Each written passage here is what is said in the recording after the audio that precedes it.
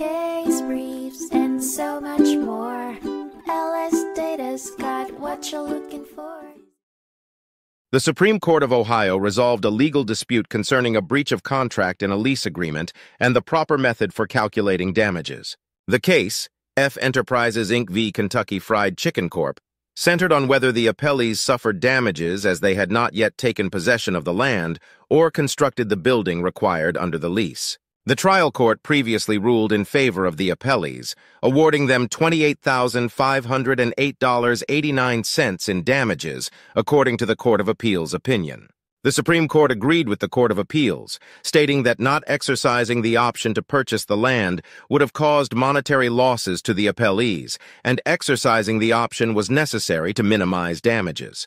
The court affirmed the appeals court's judgment on deductions and interest, but disallowed increasing the judgment. Case briefs, and so much more. LS Data's got what you're looking for. Visit lsd.law, elevate your mind. Leave the stress of class.